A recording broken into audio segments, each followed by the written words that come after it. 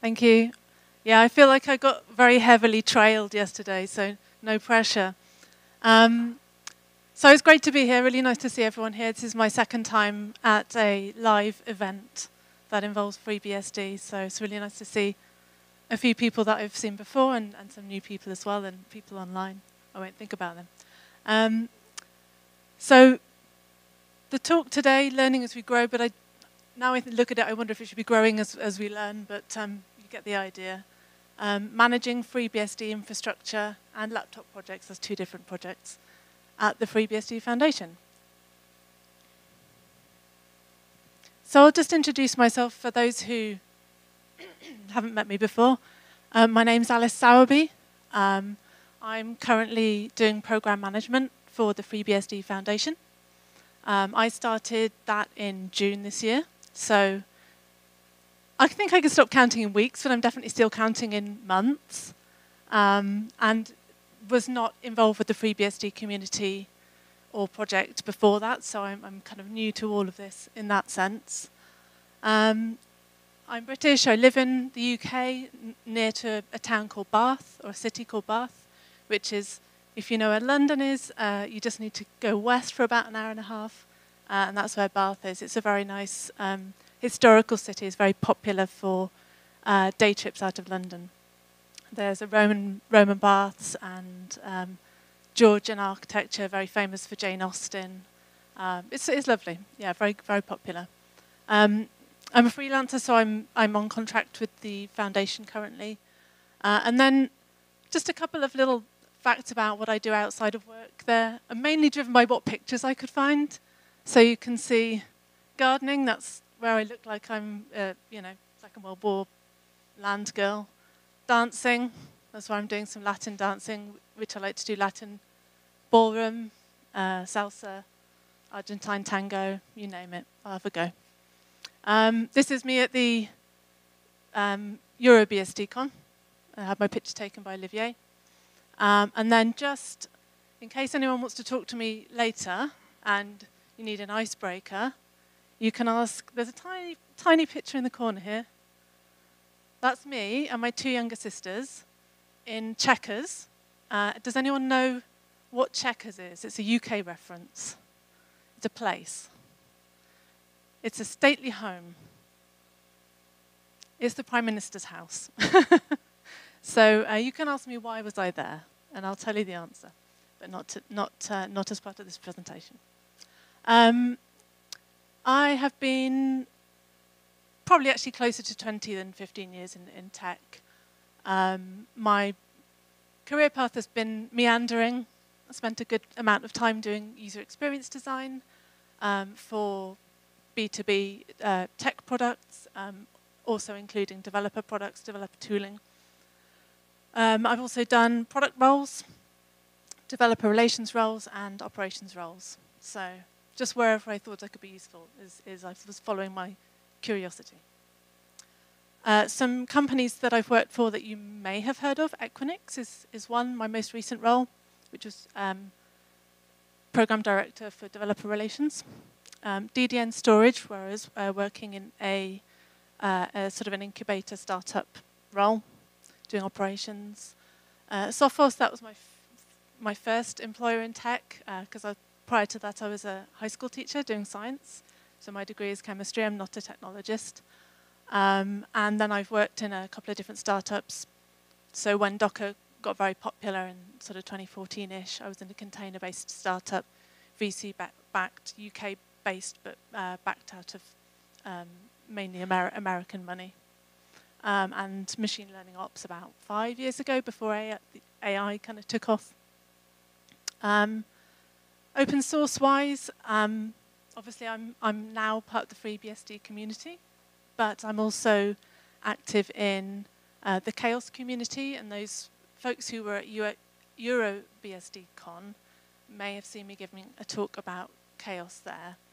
Um, it's community health analytics in open source software projects, which means that if you have an open source project and you want to understand is it healthy, is it sustainable, there are things you can measure and then things you can do to see if it makes a difference to those measurements. and, and then you can work towards making um, your community a little bit more healthy and sustainable. And it's things like time to first response on tickets um, and, and various things, you know, bug backlog log, um, closing and things like that. And then the TODO group is um, part of the Linux Foundation. It's a community of practice for open source program offices. So a lot of large corporations and governments have open source program offices that um, manage their use of open source and engagement with open source projects um, and foundations. So I, um, I'm a book editor for them, and I'm, I produce the podcast for CHAOSS. Um, so I don't really use social media, but I have put my foundation email address here, and that QR code takes you to LinkedIn, which I do use a bit, not much. So today, um, as, as Build, I'll be talking about uh, how the foundation is using targeted investment to deliver specific outcomes for the FreeBSD project, how it's changing its staffing and its processes to manage these projects effectively, and two example projects, which is infrastructure modernization and laptop usability, um, and a deep dive into each one of those to look at the objectives and the benefits of the projects and how we're managing those, because it's slightly different for each one. So let's start by taking a look at targeted investments for specific outcomes. It's exciting. All right, so just a little recap of, of how sponsored projects have worked to date with the foundation. So you probably know better than I, than I do the long history that the foundation has in sponsoring projects, particularly development projects. Okay, um, and you may be familiar with this page on the FreeBSD Foundation website, where it lists a lot of the projects that have been sponsored or funded by the foundation. Um, they can be proposed by pretty much anybody. Sometimes they're initiated from within the foundation based on conversations. Sometimes people will write up proposals and we'll go through a, a process of evaluation um, and the funding will come from there. Um, and then funding has generally come from the general donation pool. So um, donations are not generally connected to the work, not generally. And if you see at the top, you can you can see that you know there's a donate now button and the donors and the donations are all, all totted out there. And that's how it's been done up until now. And this is, this is continuing, that we're not stopping doing it this way. Um, but I'm going to speak a little bit about how we're extending from that model. So it seems as though there's something interesting going on in open source at the moment, which is that there seems to be a ramping up in interest in, in investing specifically into open source from various um, sources, right? That, that perhaps were doing it in a more ad hoc manner or, or weren't investing previously. Um, and I've put on the right here um, a screenshot of, of an organization called the Sovereign Tech Fund. Now, this is th something's wrong with this, so I don't know if does anyone know what, what's wrong with this screenshot? if you've been following the news lately. Okay, it's changed its name. It's now called the Sovereign Tech Agency um, because they, it's relatively recently been set up. It's, a, it's about a couple of years old. It's, um, it's a part of the German um, government, but actually their website is in English. Uh, and they invest in, um, as you can see here, open digital infrastructure. So organizations like the Sovereign Tech Agency um, and um, um, yesterday, I think Ed mentioned the Alpha Omega project, which was part of, um, comes under the Linux Foundation, are now looking to invest specifically rather than just to donate. So that they're trying to influence um, or support certain key attributes of the open source ecosystem that maybe had previously been left to chance. So things like security and diversity within um, the infrastructure. Um, so as I alluded to, it is more government and NGO-led than commercially driven, although there are certainly some um, commercial investments. Um, the, the difference between just general donations and this type of investment is that the investment is much more structured and the bodies that are investing are not necessarily see, looking at it as being a, a donation, but more of a commissioning of work or a commissioning of impact that they would like to see. Um, and as part of that, they're looking for evidence. Okay, so it's not just, hope you do something nice with my donation. It's actually, you know, they are trying to um, deliver evidence to their stakeholders that, that the money that's been committed into the open source ecosystem has actually produced a net benefit. And actually, I was recently asked to review a, a paper that um, was speaking about how that could, how that impact was actually measured, because that's not it's, it's not very mature as a, as, a, as a practice, and that's still something that's being worked on. And actually, um, the Sovereign Tech Agency is one of the groups that has invested in FreeBSD project, and um, uh, part of our work with them is to help them figure out how it's how best to measure impact of investments. So they ask for a lot of um, feedback on lessons learned as well as impact delivered. Um, so just to speak a bit more about the investment sources that uh, we've been engaging with.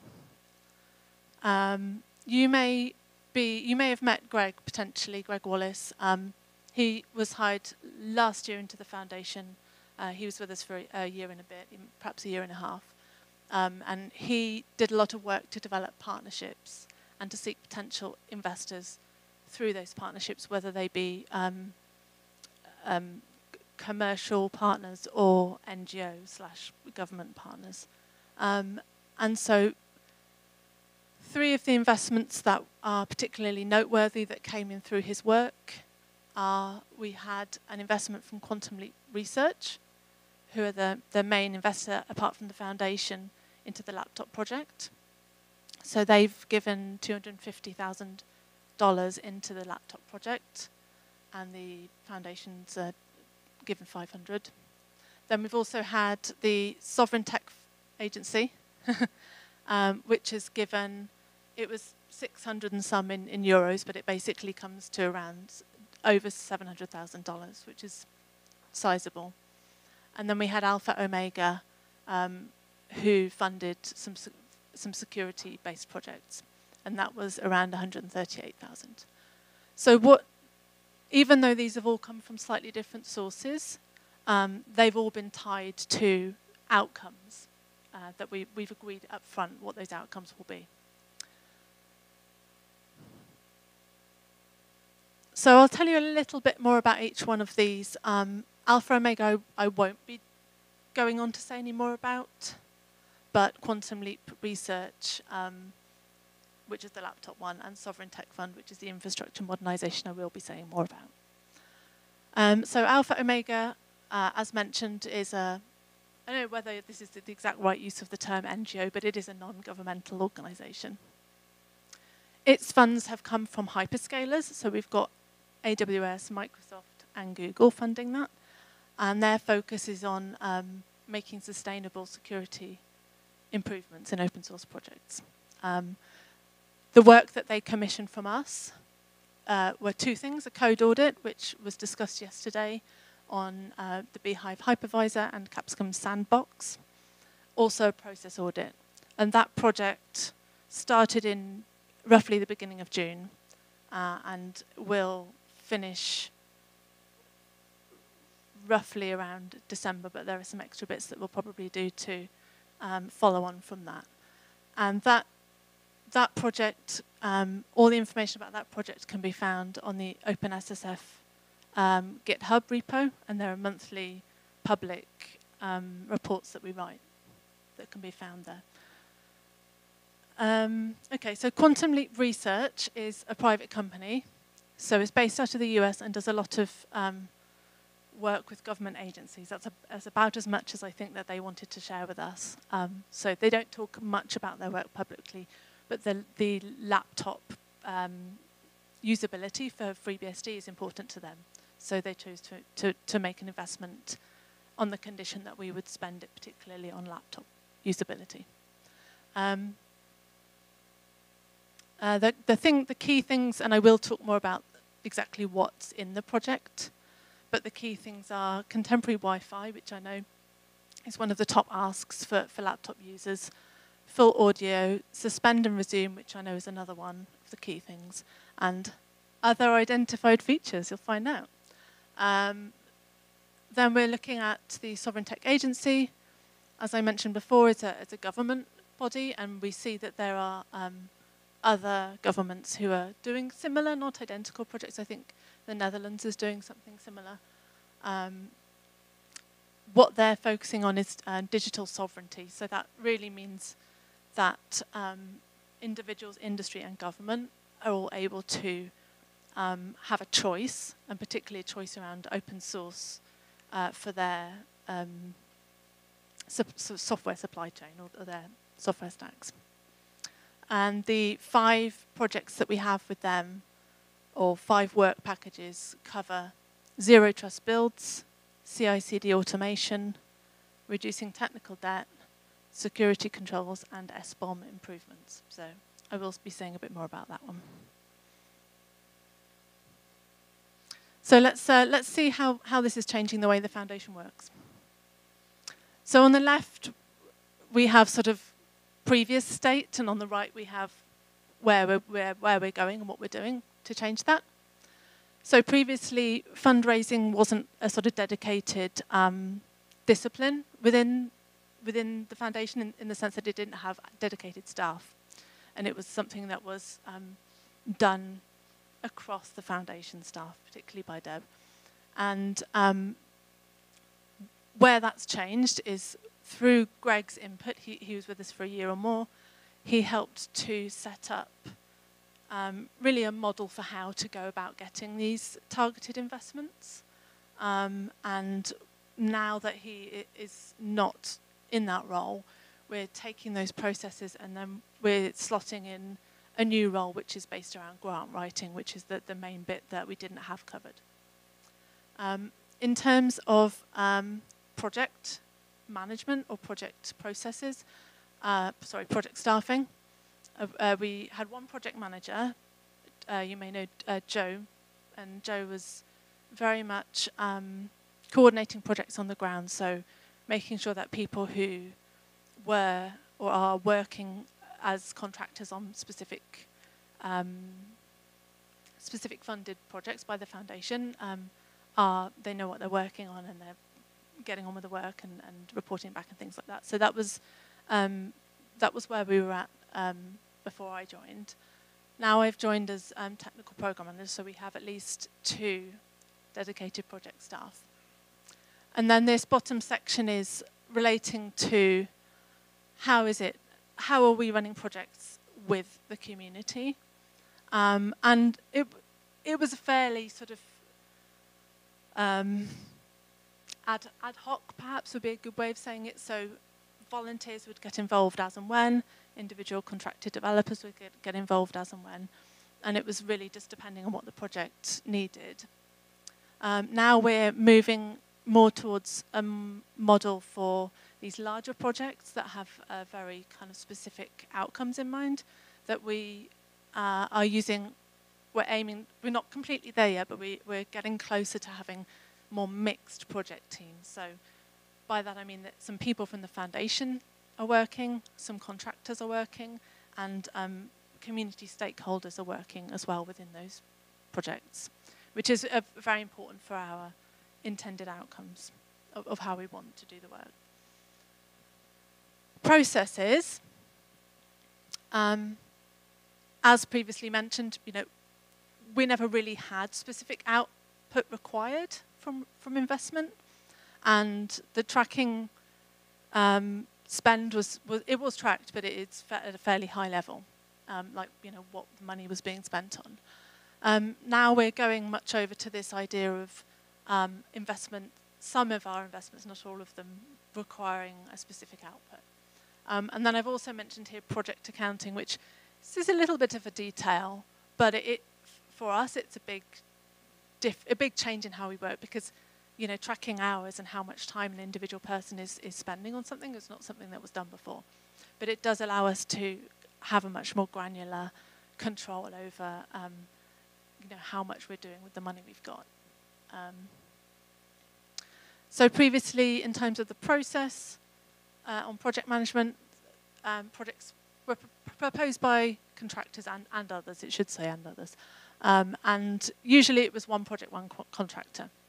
Um, now the projects are larger and more strategic, um, and we're seeking ad additional investment sources. So sometimes, I don't think we've got any yet, but we, we're looking potentially to have some projects with multiple investors.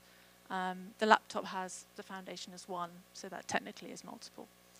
Um, but we've got multi, we've got these multi, multi-domain and multi-contractor projects. So when I start talking more about the infrastructure modernization, you'll see that it covers some disparate areas um, and no one contractor or one volunteer is likely to have all the skills required or the knowledge um, to do all of those.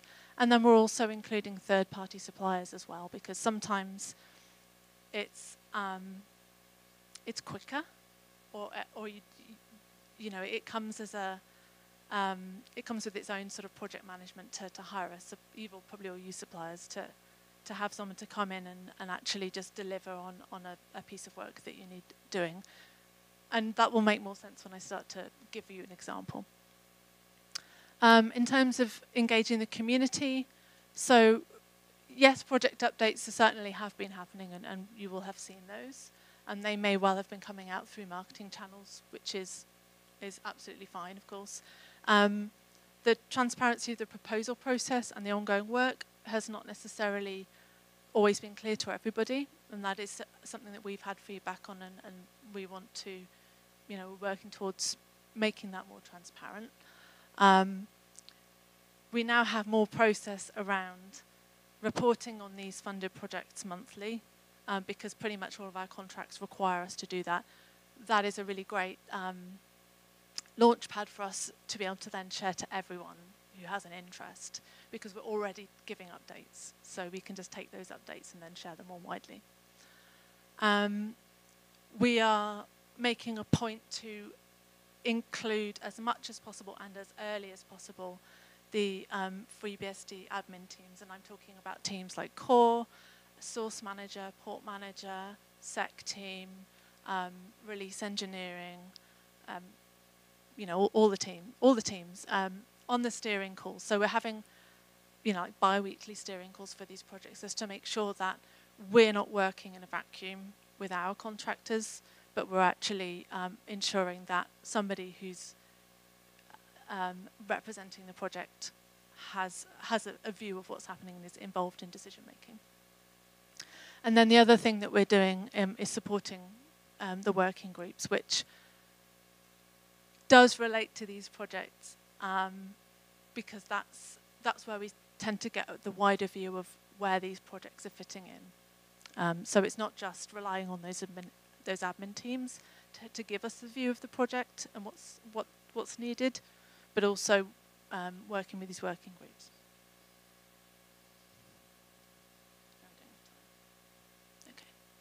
Um, so the the first project to talk about is infrastructure modernisation.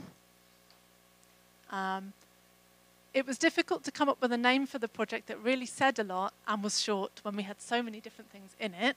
So hopefully infrastructure modernisation sort of covers it. Um, it started this year in August, so it's, it's, not been going too long. It's running for just over a, a year, um, and it'll be um, finishing up approximately September next year. As mentioned, the investor and they don't like to be called donors, they like to be called invest investors. Um, it's a sovereign tech agency. I did change it there.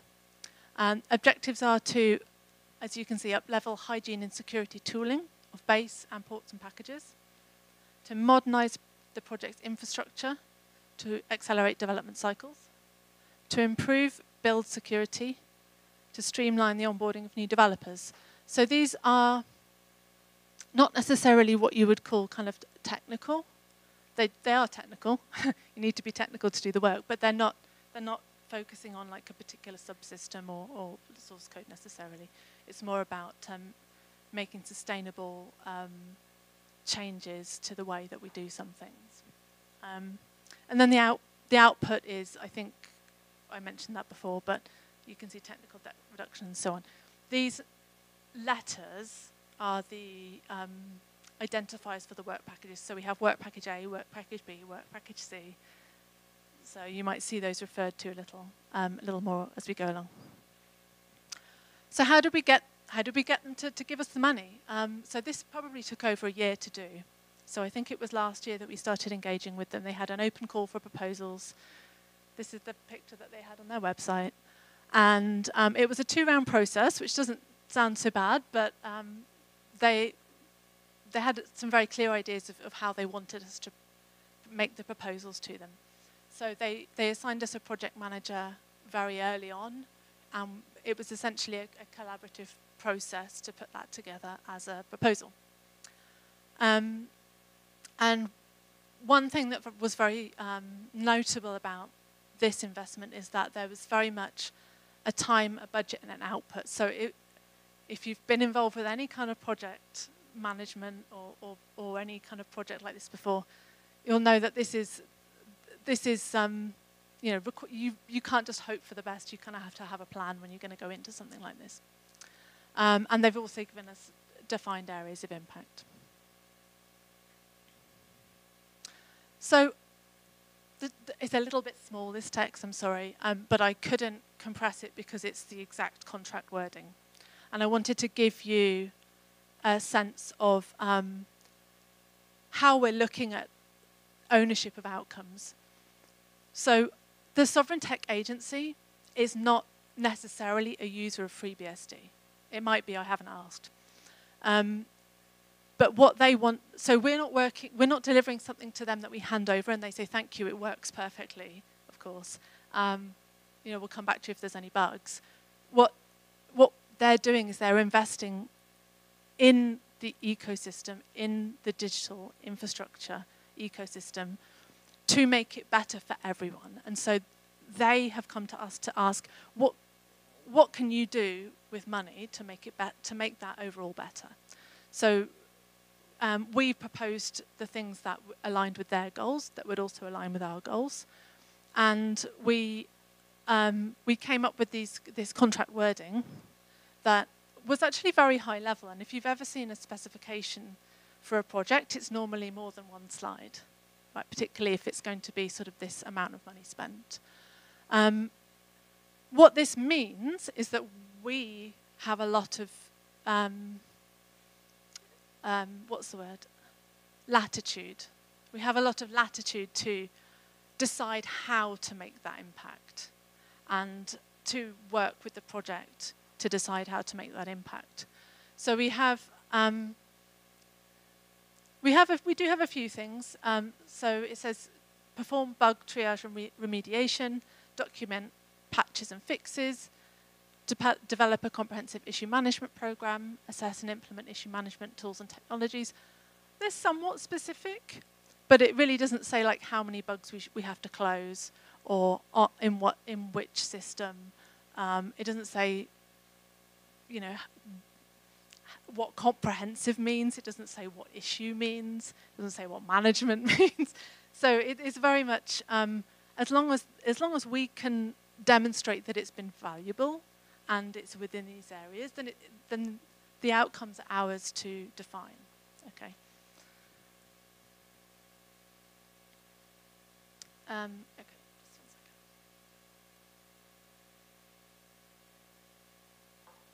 So just a little um, calendar for you, a Gantt chart, um, where we see uh, we started with A. we started with work package A, And um, that started in August and, and will commence by the end of December. Um, and then all of the other ones are next year. So we have B and C that are starting in January, and then we have um, D and E the two months after that, which is going to be quite a lot by the time we get into sort of April, May. It's going to be quite busy.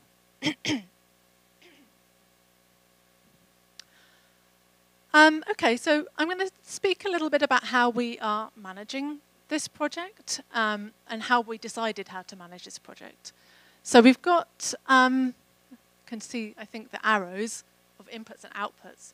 So when I was thinking about how are we going to manage this this project, like what's an appropriate methodology, and I'm not, you know, like I'm I'm not a, a trained project manager. Okay, I'm a I learned on the learned on the ground. Um, so methodology is not like my big thing, but I, I'm interested in systems and, and how they work. So the inputs that we had were really what we got from the investor and what we thought would be the right thing to do. So we knew that we had to give monthly reporting, and we knew that we had to say what we'd done and what we'd learned. And we knew that we had to have predictable billing because we'd already said how we were going to bill them and how much every month. And we knew we had to do timesheets because that was contractual. Um, and we knew that we had we'd already agreed like when the work packages would be delivered, so we had those dates, and that was an out, that was something that we had to deal with. Um, then we also have these goals of, well, it actually has to be meaningful. It can't be a tick box, tick box exercise because who benefits? Um, it's probably even more harm than good, than good to do that. We wanted to make sustainable impact, so obviously we, we just don't want to to do something that then get, gathers dust and nobody ever sees the benefit of it. It, it wants to be something that uh, contributes to ongoing uh, benefits. And then it was really important that we have as much collaboration uh, as needed with the FreeBSD project itself. And so what we decided uh, we would do is to have a milestone-driven pro product mo project methodology, which obviously with the work packages is what we needed, but also to have this close collaboration with the project. So I mentioned before we've got these bi-weekly steering calls. Um, for uh, work package A, because it's specifically about um, technical debt and bugs and things. That was mainly with the source manager team. Uh, for the other work packages, it will be other teams. Uh, and we've got the foundation staff as well in there. We've chosen to go down the path of mixed resourcing. So um, we've got the source manager team um, actually doing some of, some of this work as well. Then we've got um, Moin, who is uh, one of our um, full-time staff who was recently moved over from being contract to full-time role with us.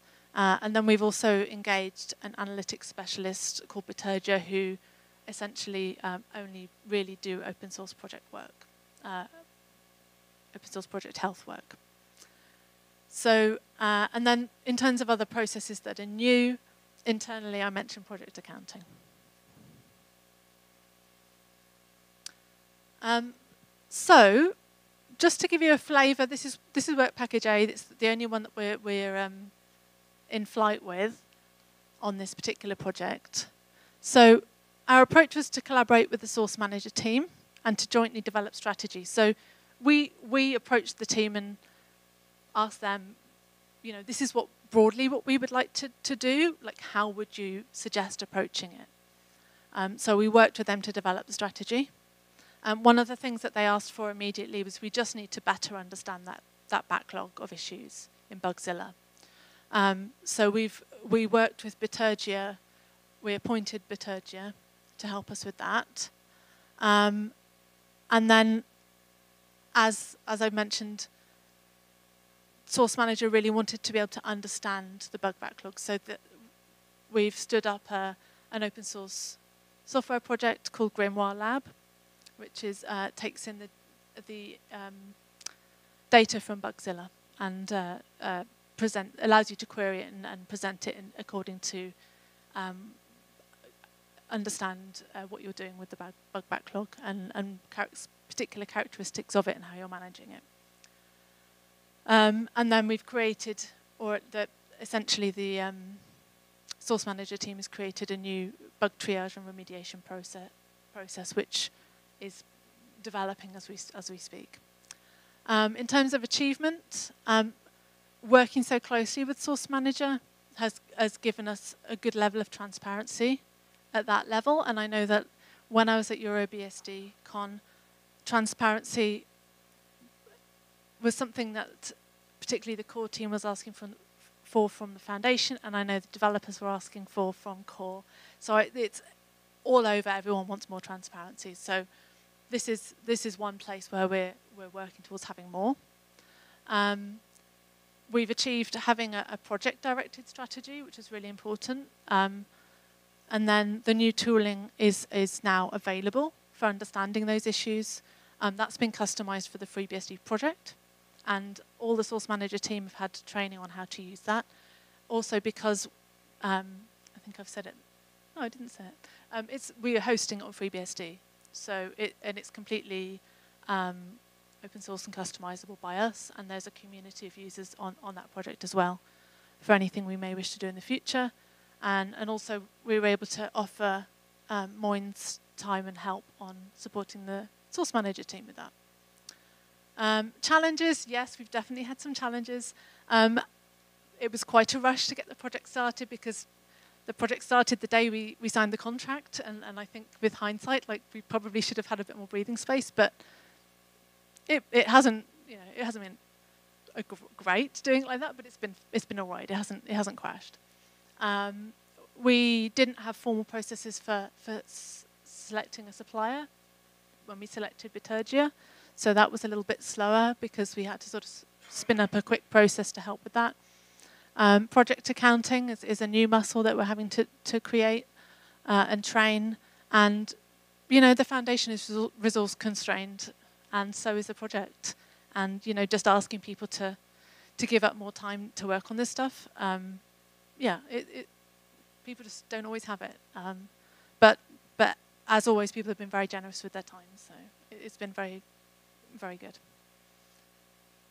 Um, so let me just. Okay.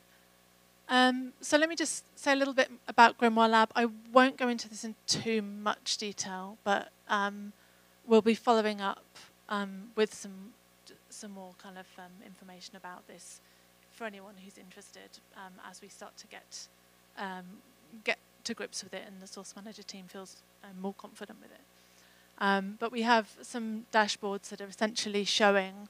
This one shows the backlog and whether it's going up or down, and, and things like um, backlog management in management index, which is like the um, efficiency in closing issues. So it, it, it, there are some some ways of thinking about how you manage your back, backlog, um, and then you've got some other um, uh, dashboards here about um, uh, how long bugs have been open and things like that. So these are five dash dashboards that were requested and specified by Source Manager team that Bitergia created and that have has now been handed off to us on an open source platform. Um, so they're going to be using them for things like um, uh, bug uh, triage sessions, community bug triage sessions, and uh, creating um, guides on how to, to do bug triage and management for anyone to follow. Um, so what's next? We have two more work packages. Um, they're both due to start in January. One is Zero Trust Builds, one is CI/CD automation. Um, so we've, because we had a little bit more lead time on these two, we're actually starting before the project starts to um, to plan up on on what the scope will be and how we're going to approach it, so that we can start to think about it if we need to uh, engage any contractors or any um, suppliers and you can see that um, you know we've got various teams uh, respectively for Zero Trust Build and CI/CD. Um, you may not have heard a huge amount about this to date. We do need to, you know, spin up a little bit more about the communication on this. Um, it, it's understood that that's that will help. Uh, we want better transparency. Um, handing over of, of that work package A, which is due to end in December, to the source manager team um, so they can they can own that and take that on. And then work packages D and E, which are the last two, and, and they start in I think February and March or March and April. All right. Um,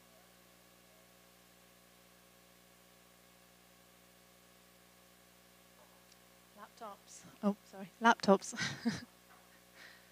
um, so laptop usability is really only starting now. So I started picking up this project just, I mean, just a few weeks ago, to be honest with you. So it's quite, it's very much everything's getting spun up at the same time, and I should have had that gift with the plates, you know. Um, the invest, the source of investment for this is um, the FreeBSD Foundation that's um, investing half a million dollars, and Quantum Leap, Research, which is investing 250,000. Um, the actual whole project scope was estimated at a million, so we're a little short of everything that we wanted. Uh, so we think probably some of the scope that I show you will have to be de-scoped, or it'll just sort of happen, you know, along the way, depending on how the money goes. Um, our objective is, is to allow FreeBSD to run out of the box on a broad range, that's not very specific, of personal computing devices. Um, and you'll see in a minute, but we are, we are going to make a list of things. Um, and then the output will cover Wi-Fi, audio, suspend and resume, graphics, Bluetooth, and other things, which is a, uh, just a, a, list of um, other bits and pieces that don't necessarily fall into a category. Or they have a category each, maybe. Um, and the initial use case is, is broadly uh, for developer users. So how did we get the investment? Um, so we actually just received a cold email from, from QLR. Um, and they just sent it info at, and it was, I think it was just like a really short email saying, hi, interested in laptops, would you, uh, can we chat?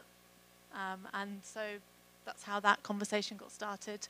Um, as mentioned, uh, Quantum Leap Research has long-term plans that involve FreeBSD and laptops. and um, after some discussion, um, it was, it sort of became clear that this would be a great opportunity for the foundation to accelerate that investment by adding additional funds into it. Um, the the, the roadmap is not really time-based like the other one was, um, and it's not, um, it's not really milestone-based per se, but it's much more functionality-based, so it's much more like product development than it is um, project management. Luckily, I've been a product manager as well, so that's fine. Um, so what we were trying to solve for is obviously monthly reporting because people want to know hey, I gave you some money, what's happening? um, but actually, Quantum Leap Research, you know, because they, they will be a user of laptops, they are much more of a long-term partnership. So they are not necessarily um, just looking for this all to be delivered in, in like according to a certain time and according to a certain um, spec. They're they just want to know that it is being invested in and it is progressing over time. Um, and I, actually, I think they're interested in seeding um, a focus on laptops.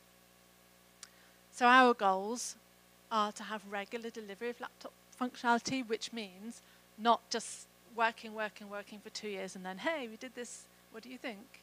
Um, which, you know, is a recipe for, you know, people to, to, to feel um, like they, they, yeah, they just have to wait a long time and weren't involved. Uh, we also wanted to have a high level of transparency to users and uh, developers. And we also wanted to have high situational awareness of the FreeBSD user and developer needs. So we don't have the whole picture. Nobody has the whole picture. We want to do as much as we can to build that picture. Over time, we probably don't have all the information right now. And we also want to have good coordination because there are so many different parts of of FreeBSD that have to be looked at to get laptop usability. Um, that um, you know there are multiple technical work streams that need to be coordinated. Um, so the decision there was to tackle this using. Um, I hope I'm not going to traumatize anyone by mentioning agile. Um, it's got a small a, so it's less uh, threatening. But we have um, essentially we're going to do monthly iterations with our contractors just to say, can you, can you deliver something that you can do with a laptop that you couldn't do before in a month and just deliver a small thing every month from each or from several of the, the work streams. Um, we're, we're looking to have user stories as the prime, oh, I need to speed up. Primary work definitions. um, that just means that it has a usability focus or a user-centered focus. So we know why we're doing something, and we're, we're not just testing that uh, uh, some functionality is now now there, but that actually fits into the um, way that you want to use it. Um, and then the other thing is to work in the open, and that means having a public roadmap.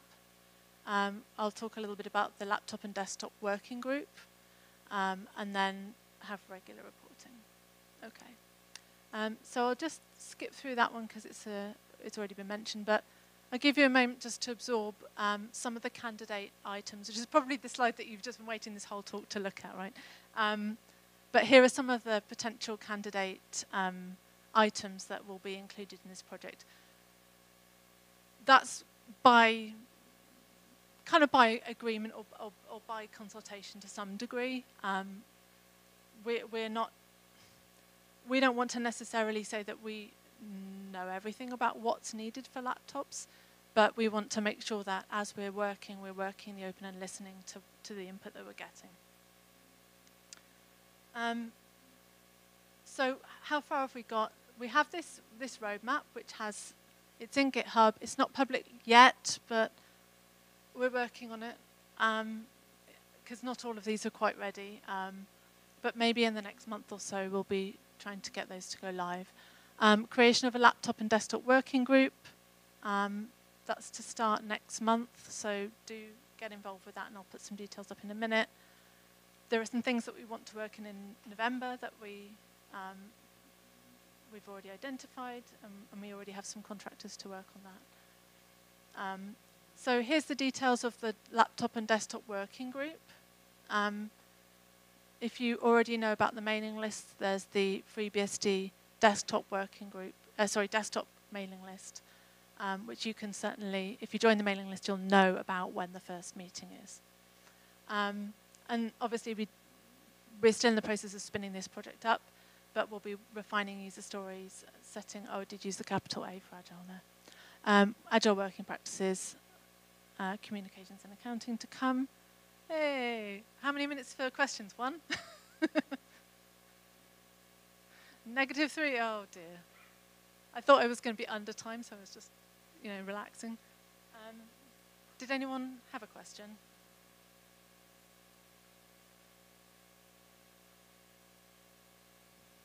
Okay.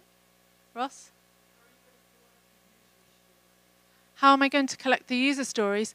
So user stories um, are being, when I say user stories, I'm not necessarily talking about use like case studies of individual users out there and uh, tell me about your story. User stories are, I'm, I'm describing in an agile management sense. So it's as a developer, I want to be able to connect to Wi-Fi using modern standards so that I can use my laptop.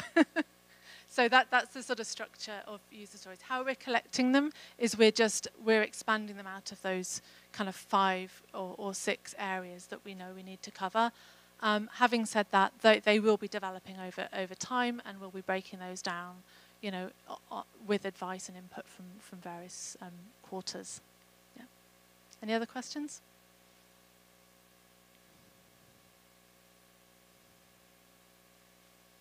Oh, somebody had a hand up and it went away, but maybe it was the same question.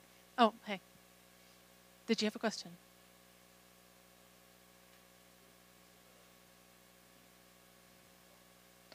Uh, so the question is, if there's people who are interested in doing things, who should they talk to? I would very much recommend coming to the working group. Um, and do you mean paid or, or volunteers or paid? Paid. Oh, in that case, I would say um, you can speak with me or Ed is probably your best bet. Yeah. Cool. Do we have more time for questions, or is that is that kind of it? One more? Yeah.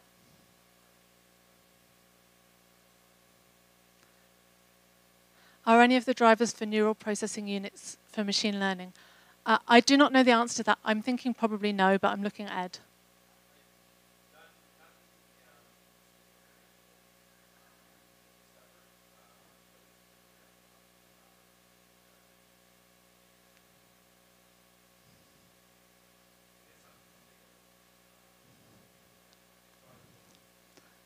So the answer was nothing specifically in scope, but we could we can look at it potentially. Okay. Perfect. Thank you.